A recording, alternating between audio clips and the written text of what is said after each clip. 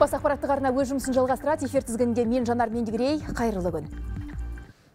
Түркістан облысында темір жол көпірінің бір бөлігі опырылып түсті. Салдарынан туннель арқылы іргедегі шағын ауданға ағылған көліктер сағаттап қаңтарылып қалды. Төтенше жағдайлар департаментінің мәлімдеуінше зардап шеккендер мен қаза болғандар жоқ. Көпірдің апатты жағдайына алаңдаған жергілікті жұрт бірнеше жылдан бері өткелді жөндеуді әрі балама жол салуды сұрап келген еді. Биыл Орал қаласында 5 апатты үй бұзылады. Орнына инвесторлар жаңасын тұрғызады. Шақарда мұндай жұмыстар осыған дейін атқарылған. Инновация бағдарламасы аясында кейінгі жылдары көп қабатты 16 үй пайдалануға берілді. Оралдағы апатты үйлердің дені қаланың тарихи орталығында орын тепкен. Мысалы, Құмар Қараш көшесіндегі мына үйлерде әлі де адамдар тұрып жатыр. Әрине, мұнда ескі үйлерді ешкімнің сатып алғысы жоқ. Ал жаңа үйге көшуге шамамыз жетпейді деген тұрғындар жергілікті биліктен көмек сұрайды. нужно сносить, потому что он уже старый. Бұл үйлер әбден ескірген, сондықтан оны сүріп тастағаннан басқа жол жоқ. Қабырғалары қақырап тұр. Әжетхананың өзі сыртта орналасқан. Осы үйде 10 жылдан астам уақыт тұрып жатырмыз. Облыс орталығында осында елу шақты үй бар. 2015 жылдан бастап оларды бұзып тастап, орнына жаңа үйлер салу жұмыстары жүріп жатыр. Реновация бағдарламасы шеңберінде ескі үйдің иесіне дәл сондай көлемде жаңа баспана беріледі. На сегодняшний день нашей компании. Бүгінге дейін біздің компания 16 пәтерлік 9 екі қабатты үйді бұзып, орнына жаңасын тұрғызды. Тұрғындарға жаңа пәтерлер берілді. Мемлекет өз тарапынан инженерлік желілер жүргізіп береді. Жер теліміне қатысты да солай. Өткен 8 жылда апатты деп танылған 32 үй сүрілді. Оның орнына жаңадан көп қабатты 16 үй салынды. Мамандардың айтуынша тұрғын үй қорын жаңғыртуға арналған бағдарлама 2029 жылға дейін жалғасады. Мемлекет жер телімін рәсімдеу және инженерлік желілер тарту жұмыстарына қолдау білдіреді. жеті үйдің құрылысы қазіргі таңда жүргізілуде осы 2024-2025 жылдары құрылыстары толығымен аяқталатын болады бағдарлама жалпы тұрғындардың 100% келісімі негізінде сондай ақ қала әкімдігі құрылыс салушы инвестор компания үшеуінің меморандум жасау негізінде жүргізіледі. Реновация бағдарламасының нәтижесінде бүгінге дейін 263 отбасы жаңа баспанаға ие болған. Бұл көрсеткіш болашақта өсе түспек. Биыл қалада әбден ескірген тағы 5 үй бұзылып орнына жаңасы бой көтермек. Елдос кәкенов альбина құмарғалиева ербол меңдіғалиев 24 кз орал. Солтүстік Қазақстан облысындағы 200 ауылда орталық су жүйесі жоқ. Өңірдегі әлі күнге 30 мың адам тіршілік нәрін құдықтан тасып ішеді. Бұл мәселе қашан және қалай шешіледі? Өркениет игілігінен ада қалған ағайынның жағдайын аймақтағы тілшіміз Айдарбек Айтмұхаметұлы біліп қайтты.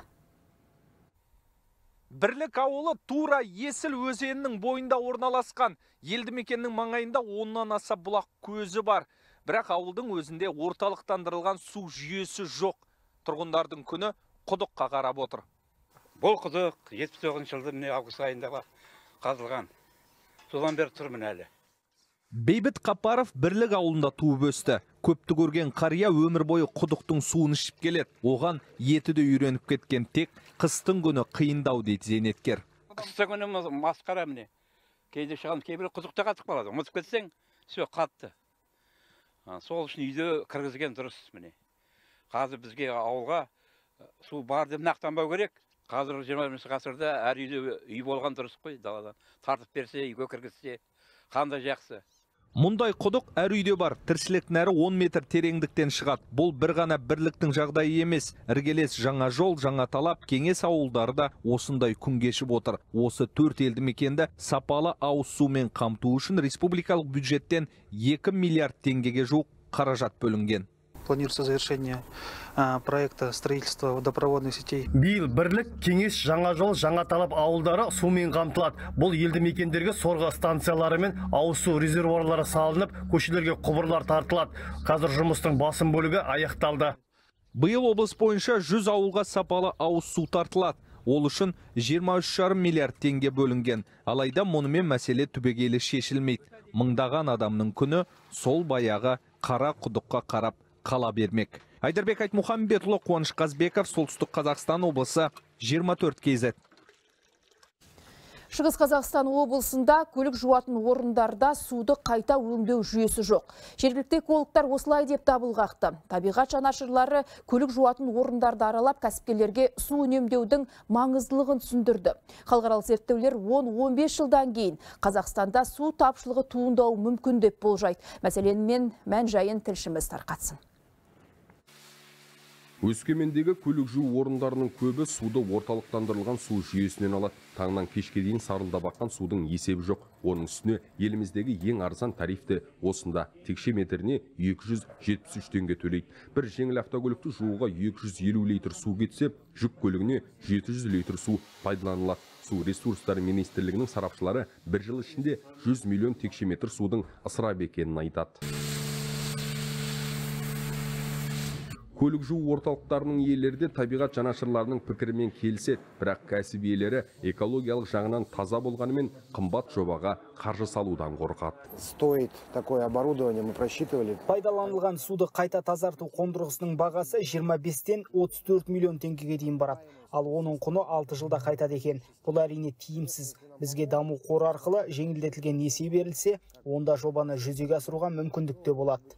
Дегенмен сергей тютенков суды үнемдеудің жолын тапқан. Ол көлік жуу орталығының жанынан қазылған ұңғымадан жер асты суын сорып оны арнайы құрылғы арқылы тазартып отыр. Мы берем воду центральную с центральной э, с она приходит сюда в баки потом проходит очистку через эти емкости. Қазір қаладағы жүргізушілер арнайы орында көлікті өзі жууға үйрене бастады. Мұндай орталықтардың саны да артқан. Сөйтіп суды үнемдеуге де мүмкіндік туған. Өйткені көлік иелері темір тұлпарын тез жууға тырысады. Стараемся. Это же наши деньги. Ақшаңызға қарай уақыт береді. Сол уақытта үлгеріп жуып алуға тырысамыз. Ең бастысы үнемді. Көлігімді жуып алуға 500 теңге жетеді. Қалалық су арнасының мамандары да жағдайды үнемі бақылап отырады. Қазір шаһарда судың шығыны көп емес дейді. Кәсіпорындар суды қайта өңдеу жүйесін іске қосқан. Соның нәтижесінде тұтыну көлемі де азайыпты. Ни один лимит водопотребления не нарушен су тұтыну бойынша заң бұзушылық болған жоқ. Қала тәулігіне 100-110 мың текше метр тіршілік нәрін пайдаланады. Қалада су қорын жинайтын 10 нысан бар. Дегенмен су қоры таусылуы мүмкін. Біріккен ұлттар ұйымының сарапшылары елімізге көрші елдерден келетін су көлемінің 26 процентке азайғанын айтады. Бұған табиғи жағдайлар мен өндіріс және ауыл шаруашылығы саласының кең өріс жаюы себеп. Осыған орай ауыл шаруашылығы министрлігі суды үнемді пайдаланудың жаңа жобасын әзірледі. Судың да сұрауы барын ескерсек тіршілік нәрін тиімді пайдалану баршаға ортақ міндет. Асланбек шығыр вячеслав ветлугин дмитрий пыхтин 24 кз өскемен. Атыраудағы облыстық перзентханада шала туған сәбилерге арналған ретинопатия орталығы ашылды. Мұндай заманауи орталық елде санаулы ғана. Көз тамыры жетілмей туған нәрестелер бұрын Астана мен Алматыда емделетін еді. Жүктіліктің 34-ші аптасына дейін дүниеге келген нәрестеге дер кезінде ота жасалмаса, бала болашақта қос жанарынан айырылуы мүмкін. Жаңа ашылған орталық осындай қиын жағдайдың алдын алуға сеп болады. Мұнда балалар көзге лазерлік фотокоагуляция жасау немесе луцентис препараты арқылы емделеді дейді мамандар. Медицина орталығы көрші облыстардан келетін науқастарды да қабылдайды. Былтыр елімізде 1600-ге жуық сәби осындай диагнозбен дүниеге келген. Бұл алдыңғы жылмен салыстырғанда 34 пайызға көп. көптеген балалар дер кезінде анықталып осы қажетті отадан шет қалып отырады жақында осы жылдың басында 24 жылы жақын аймақ көрші облыс маңғыстау облысынан екі нәрестені қабылдап екеуіне де ота жасалып біреуіне екі мәрте жасалып және аяла қорының біздерге қамтамасыз еткен люсентис дәрісімен егіліп қазіргі таңда жақсы нәтиже беріп ертең үйге шығарғалы отырмыз.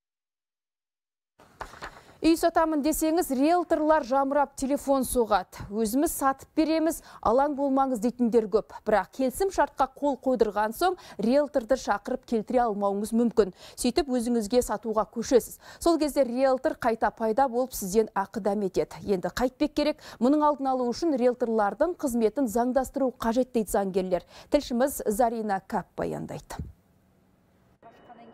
Айдың күннің аманында астаналық тұрғын 1 миллион 800 мың теңге қарызға батты. Әйгерім Рақымжанова үй сатпақ болып, сайтқа жарнама жариялаған. Кейін оған риэлторлар хабарласып, тез арада сатып береміз деп келісім шарт жасасқан. Алайда екі ай бойы үй сатылмаған, содан келісім шарт бұзылған. бір айдан кейін соттан шақырту келген шарт бойынша келісім шарт бұзылса да бір ай көлемінде мен үйді сата алмайды екенмін дейді 21 күн өткеннен кейін мен үйді өзім сатамын маған ә, сосын ә, сол үйді сатқан бойында олар маған арыз жібереді досудебный претензия деген. Сіз деген ә, үйді саттыңыз соның біздің қызметіміздің ақшасын төлеңіз деп жібереді. Мен айтамын говорю сендер емес қой менің үйімді сатқан неге мен сендерге төлеймін деп мен оларға ә, жаңағы қызметтің ақшасын төлемей қоямын. Өйткені бұл барып тұрған заңсыздық менің ойымша.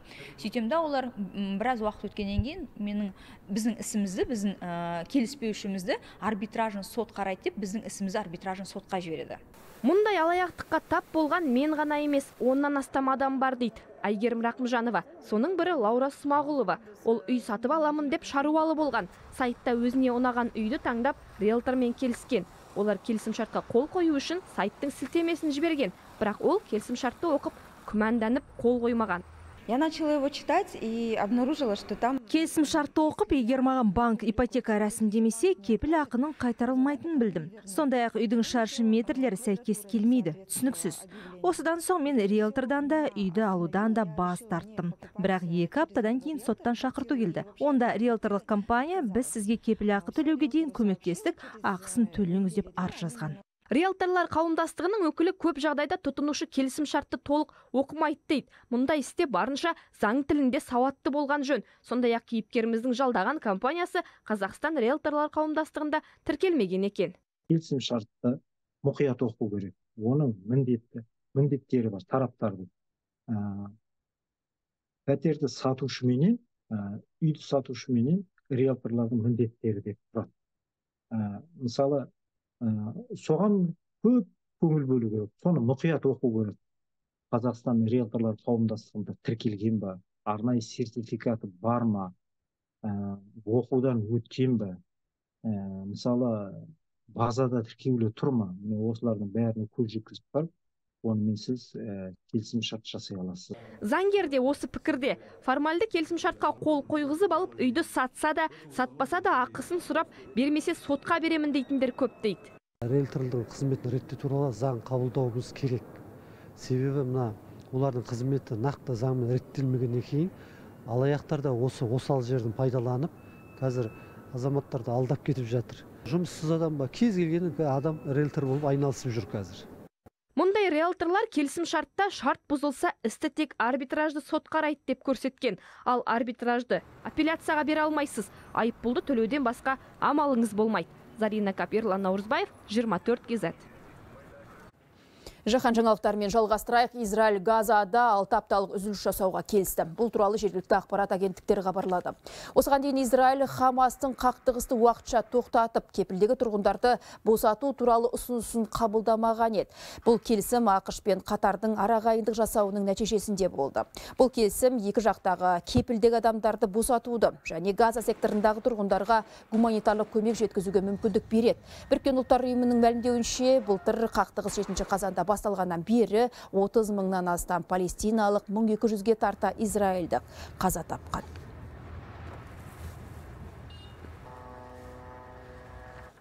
ақш халқы бұрынғы президент дональд трамптың билікке қайта келуін қалайды бұл жөнінде нью йорк таймс басылымы синс колледжімен бірлесіп тұрғындар арасында сауалнама жүргізді. Нәтижесінде халықтың 43 пайызы джо байденге 48 пайызы дональд трампқа дауыс беруге ниетті. Сондай ақ ақ үйдің қазіргі басшысын 18-29 жастағы жастар ал трампты 30-35 жас шамасындағы тұрғындар жақтаған. Бұл көрсеткіштерге қарап сарапшылар сайлауда трамп жеңуі әбден мүмкін деп болжап отыр. Франция Сенаты әйелдердің түсік жасату құқығын елдің конституциясында бекіту бастамасын қолдады. 267 сенатор заң жобасын қолдап дауыс берсе, 50 депутат қарсы болды. Францияда түсік жасату 1974 жылдан бері заңмен бекітілген. Кез келген әйел жүктіліктің 14 аптасына дейін аборт жасата алады. Бірақ ол конституцияда бекітілмеген. Егер Конгресс заң жобасы мақұлдаса, Франция әйелдердің түсік жасату құқығын конституция негізінде қорғайтын тұңғыш ел атанады. Эквадорда Лакамбуры жанартауы атқылай бастады. Ақпарат көздерінің хабарлауынша одан шыққан от пен күл бірнеше мың метр биіктікке көтерілген. Бірақ шашыраған күлден тұрғындарға ешқандай қауіп жоқ дейді билік өкілдері. Себебі жанартау адам тұрмайтын аралда орналасқан Лакамбуры Эквадордағы белсенді отты таулардың бірі саналады. Ол соңғы рет осыдан 4 жыл бұрын атқылаған. Ал Қытай ғалымдары қоқыс тазалайтын ерекше робот жасап шығарды. Бұл бұған дейінгі құлтөмірлерге ұқсамайды. Жаңа робот адамның сөзін түсінеді, тіпті берілген тапсырманы талдап, өздігінен жұмыс істей береді. Жасанды интеллектке негізделген жоба сынақтан сәтті өтті. Қытайдан Руслан Бақытбекұлының репортажы. Жаңа жоба Ханчжоу қаласында таныстырылды. Ақылды робот тазалағыш бірнеше тілде түсінеді. Ауызша берілген тапсырманы қабылдап, сол мезетте орындайды. Ғалымдар бұған жасанды интеллект технологиясын интеграциялаудың арқасында қол жеткізіп отыр. Роботқа жасанды интеллектсіз тапсырманы ауызша орындату мүмкін емес. Біз оған бейне камера мен сенсор орнаттық. Ол нақты тазалайтын нысанды анықтап, аумағы мен көлемін тез өлшеуге мүмкіндік береді. Бұл компоненттер жинақталған мәліметті жасанды интеллект базасына жібереді. Нұсқа алған робот бірден орындауға кіріседі. Бар әңгіме роботтың процессорында. Жоба авторы технологияны жасанды интеллектімен толықтырған. Қазір Қытайда бұл роботтарды өндіріс орындарда белсенді пайдалана бастады. Автоматты қуаттау, логистика, қоғамдық орындарды патрульдеу сияқты бағытта кең қолданысқа еніп жатыр. Тіпті кондитерлік салада да сұранысқа ие. Жасанды интеллекттің мүмкіндіктері шексіз. Бұл тез дамып келе жатқан технология. Интеграциялаудың арқасында қарапайым роботты жаңғырттық өздігінен талдау жасайтындай деңгейге жеткізді. Бұл роботтың миы деуге болады. Біз оған кәдімгі адамға сөйлегенде тапсырма бере аламыз. Ол түсінеді, орындайды. Қытай ғалымдары робототехника мен жасанды интеллектіні байланыстыру арқылы елдегі технологиялық прогресті бірнеше есе жеделдетуге ниетті.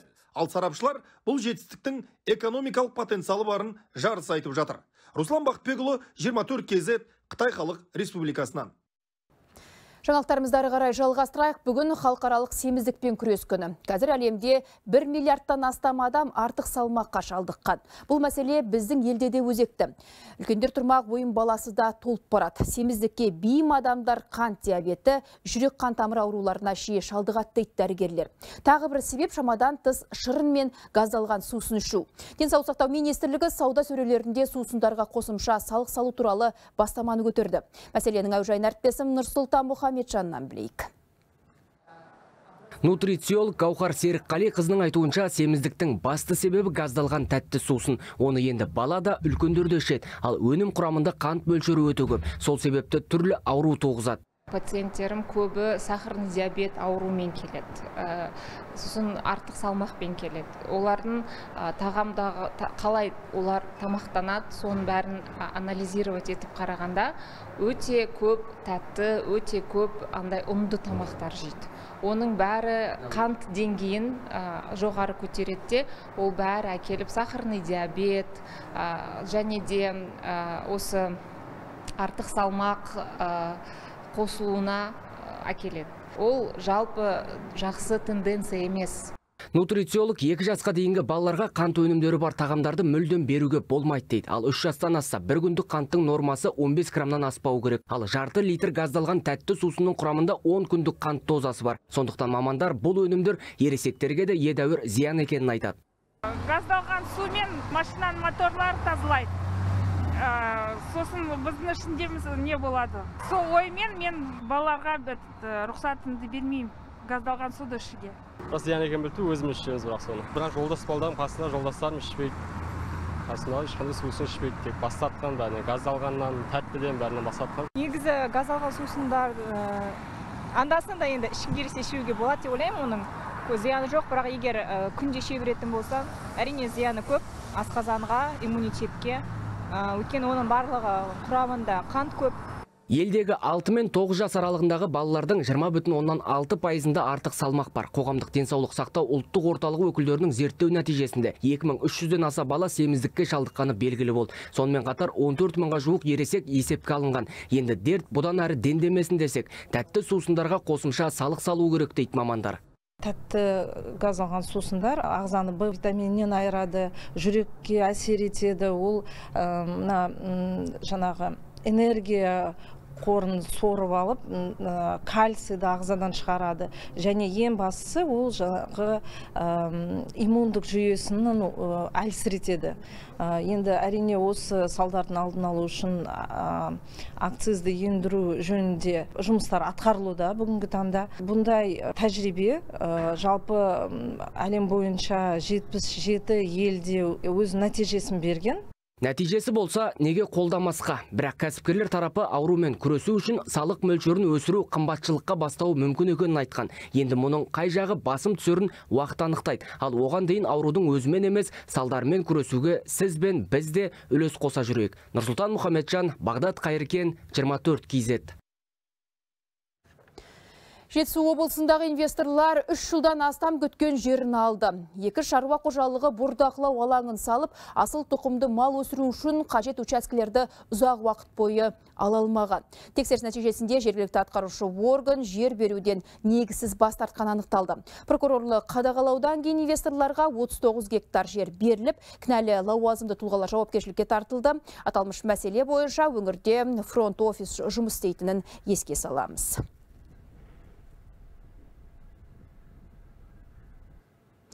Құрметті көрермен шұғыл ақпарат келіп түсті. Алматы қаласында тағы да жер сілкінді хабарлама 11.22-де тіркелді. Төтенше жағдайлар министрлігі сейсмологиялық бақылау және зерттеу ұлттық ғылыми орталығының сейсмикалық станцияларының ә, желісіндегі ақпараты өңделуде эпицентр мен сезгіштігі туралы мәлімет нақтылануда.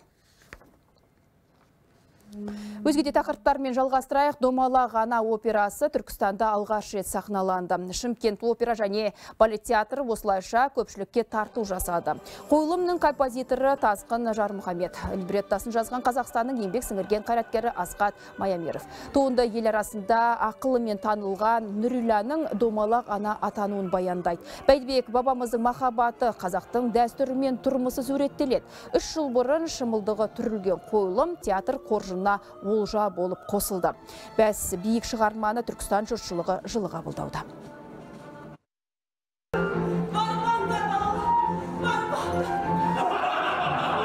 Аналардың ішіндегі ең қасиеттісі, ең сондай мынау ұлттық дәстүрге толы аналарымыз енді тарихтан келе жатқан қалай дейміз мұрағаты қазақ дәстүрінің бүкіл болмысындағы бар дүниелер домалақ ананың да келбетінде бар. Шынымен де өмірде болған бәйдібек атамыздың қандай батырлығы домалақ ананың қасиеттілігі енді соның бәрін ұрпақ білу керек. Астанада белгілі мәдениет қайраткері ақын жазушы Есенгелді Сүйіновтің шығармашылық кеші өтті. Жайнай бер туған елім деп аталатын шарада қаламгердің шығармалары жатқа айтылып, өмір жолы ұлықталды. Ата салтқа сай иығына шапан жабылып құрмет көрсетілді. Есенгелді Сүйінов кіндік қаны тамған әйгілі көкше жерін жырына арқау еткен. Қаламгердің күнгіртау құпиясы, менің елім, менің жерім, мақпалды күндер, арайлы таң сынды бірқатар кітаптар жарық көрді. Еңбек жолын қазақ радиосынан бастаған ол халық кеңесі жасалаш дала мен қала газеттерінде де қызмет етті. Ақындық қырынан бөлек адами келбеті де көпке үлгі дейді замандастары. Есенгелдінің бір жақсы қасиеті жаңағы уәде бергеннен кейін ол орындайды. Ең үлкен жақсы қасиетінің бірі. Сосын жаңа айттым ғой жүріс тұрысының бәрі ол тәрбие. Жүріс тұрысының бәрі өнеге біз ана тұлғалар арқылы тәрбиелеу керек қой сонда мінекей көзі тірі тұлғаның бір есенгелді барлық жағынан жаңағы бұл жастарға үлгі өнеге болатын азамат Шұғыл ақпарат Алматы қаласында тағы да жер сілкінді. Хабарлама 11.22-де тіркелді. Дәл қазір бізбен тікелей эфирге Алматыдағы тілшіміз Алмас Садуақас қосылғалы тұр. Алмас, қазіргі ахуал туралы айтып берсеңіз.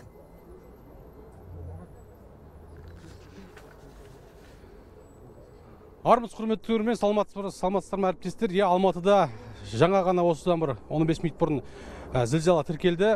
Алдын ала мәліметтер бойынша енді осы төтенше жағдай қызметкерлерінің мәліметі бойынша шұғыл хабарламада бес балдық зілзаланың тіркелгенін хабарлаған еді. Оның эпицентрі алматы қаласынан отыз шақырым жерде оңтүстік аймақта болған екен. Біз де осы уақытта мына жұмыс жұмыс барысында болдық. Кеңседе бүкіл әріптестер бүкіл осы қызметкерлер зілзала болған сәттен бастап енді қауіпсіздік ережесіне сай барлығы мына қауіпсіз аймаққа яғни далаға шықты. Қазір өздеріңіз көріп тұрғандарыңыздай бұл, мекемеде бізден де басқа басқа да әріптестеріміз басқа да қызметкерлер қызмет етеді. Барлығы далада жүр. Енді ғимараттан 15-20 минут ашықтықта тұру керек бұндай сәтте. Енді бұл сәтте қазір алматы қаласы бойынша енді нақты мәліметтерді енді біз күтіп отырмыз. Қандай ғимараттардың енді зардап шеккені зардап шекпегені дегендей. Дегенмен енді ондай болмасын деп тілейміз. Біз қазір төтенше жағдай қызметкерлерінен әрине қосымша мәліметтерді күтеміз. Алдын ала мәліметтер бойынша қаладағы мектептер балабақшалар және әлеуметтік мекемелердегі бүкіл орналасқан адамдарды сыртқа эвакуациялау жұмысы басталған болу керек. Бұл жөнінде әрине ресми мәліметтерді күтеміз. Қазір жағдай қалыпты. Тұрғындардың бәрі аман. Құрметті алматы қаласының тұрғындары және қонақтары алматы қаласының аумағында жер сілкінісі болды. Паникаға бой бермеңіз. Бірінші тербеліс аяқталғаннан кейін ғимараттардан шығыңыз. Жақын орналасқан халықты қабылдау пункттеріне барыңыз. Тек ресми көздерінен алынған ақпаратқа сеніңіз. Назар аударыңыз сирена сигналын естігеннен кейін құлақтандыру құралдарын қосыңыз. Жағдай жағдай нақтыланған соң қосымша ақпарат жеткізіледі.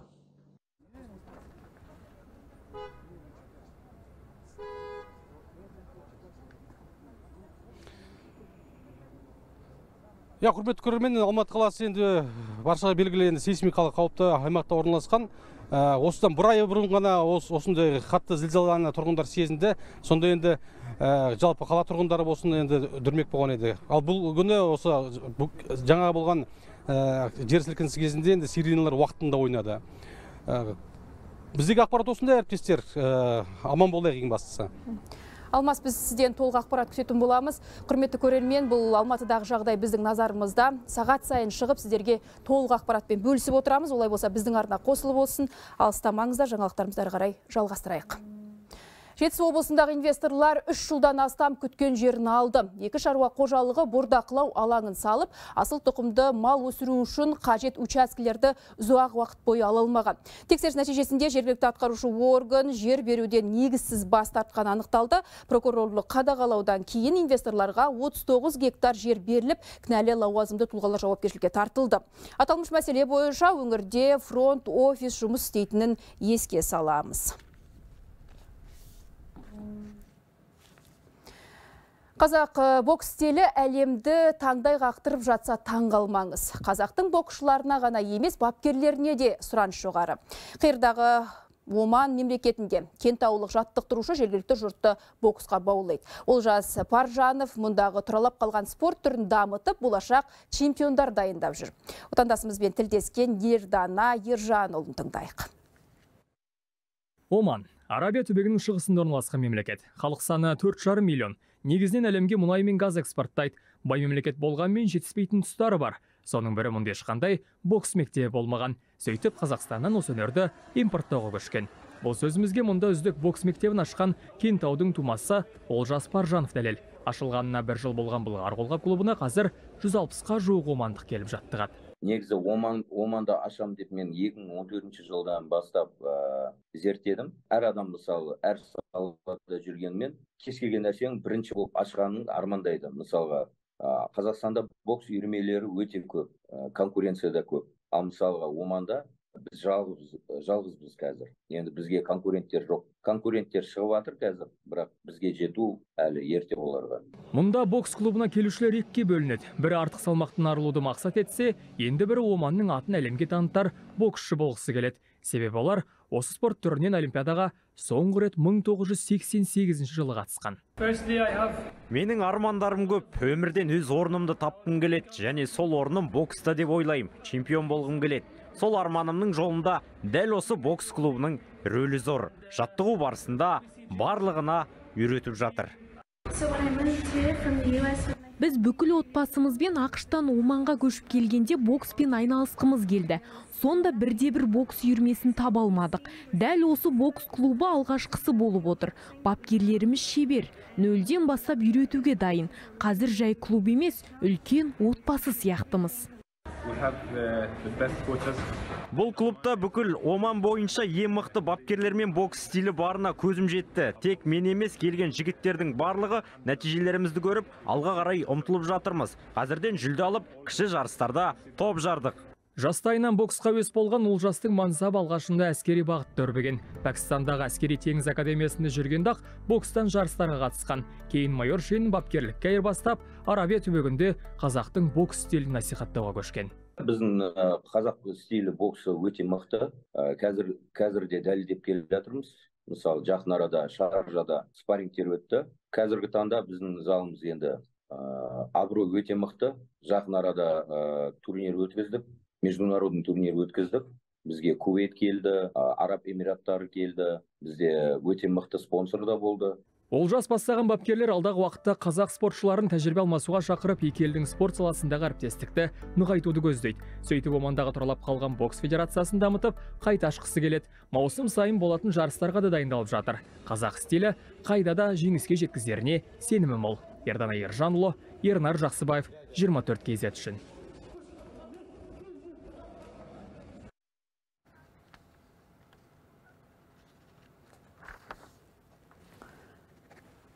Жаңалықтарымызды жалғастырайық домалағана операсы Түркістанда алғаш рет сахналанды. Шымкент опера және балет театры осылайша көпшілікке тарту жасады. Қойылымның композиторы Тасқын Жармұхамед либреттасын жазған Қазақстанның еңбек сіңірген қайраткері Асқат Маямеров. Туынды ел арасында ақылымен танылған Нүриляның домалағана атануын баяндайды. Бәйдібек бабамыздың махаббаты қазақтың дәстүрі мен тұрмысы суреттеледі. Үш жыл бұрын шымылдығын түрілген қойылым театр қоржына олжа болып қосылды. Бәсі биік шығарманы Түркістан жұртшылығы жылы қабылдады.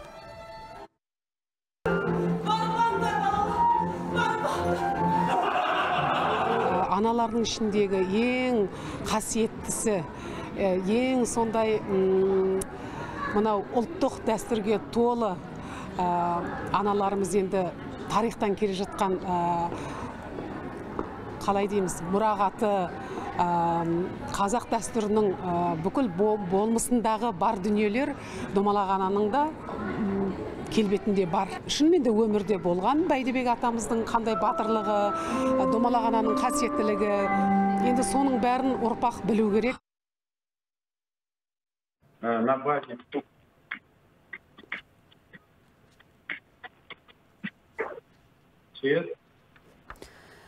Жаңалықтарымызды ары қарай жалғастырақ Елдор Райымбеков, Қазақстан Республикасы төтенше жылдар кезекшесі бөлімінің басшысына қазір тікелей эфирде қосылып көрсек, біз сізді тыңдап отырмыз, айта беріңіз.